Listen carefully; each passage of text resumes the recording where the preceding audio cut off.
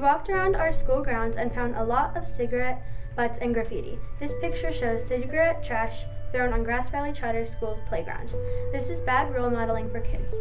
Children are influenced by others who are older. It's also ironic that this brand says respect for the earth on the package when it's bad for your health and the health of the planet. This photo shows how marketers are advertising tobacco products right above the ice cream so it attracts kids. They're targeting youth and want to make money off of children and teens. Our class went on a walk in downtown Grass Valley and we visited gas stations and stores and we were surprised to see advertising for tobacco products right above the ice cream, so kids who see it might want to try that too. This photo shows that store owners are following the law and maybe do care about kids not smoking. They are still under control of the company so they can pay their rent. Right behind the sign is another ad for cigarettes. So it warns kids but also promotes smoking at the same time. Tobacco companies now spend more than 95% of their marketing budget, nearly $8.7 billion a year, to saturate convenience stores, gas stations, and other retail outlets. What I see in this picture is false advertising, bright colors, and untrue advertisement of natural tobacco and additive free cigarettes.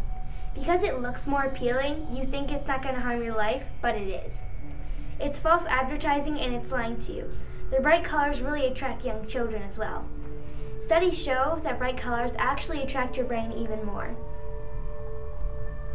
I noticed on our walk that companies sell tobacco products right under the candy on the top of the counter. They sell the products in flavors so that they look better and make you want to buy them. The great flavor and the bright colors attract people. I see a lot of black mild and vape products it exists because tobacco companies want to make money, and they are still willing to sell a product even though it takes away lives and it's bad for, for your health. Tobacco companies pay stores to ensure that cigarettes and other tobacco products are advertised heavily, displayed prominently, and priced cheaply to appeal to both kids and current tobacco users. This photo shows a power wall. It's tobacco company lingo for a spot for tobacco products placed right near the counter. We learned that tobacco companies pay sto- store owners bonuses to have their products displayed on the power wall. I feel this manipulates both the owners and the customers. Today's teenagers uh, is tomorrow's potential regular customer. An overwhelming majority of smokers first begin to smoke while they are in their teens.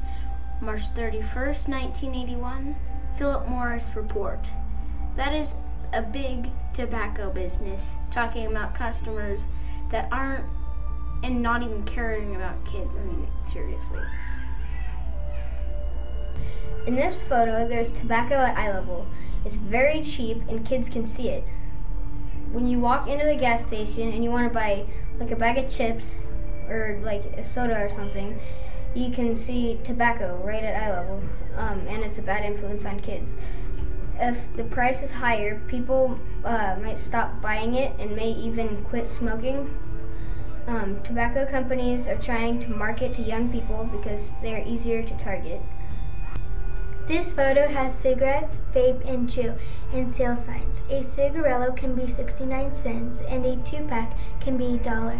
They also look like candy. If they sold them in higher numbers, packaged together, they would cost more and kids would be less tempted to buy them. Also, if they didn't look like candy, they would be less attractive.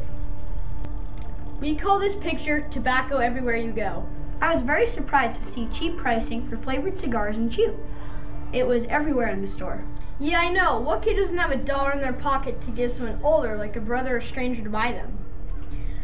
I feel like the tobacco companies purposely make them cheap and in flavors kids like. I think if we raised the price and made them less accessible, it would deter kids from starting or trying these products.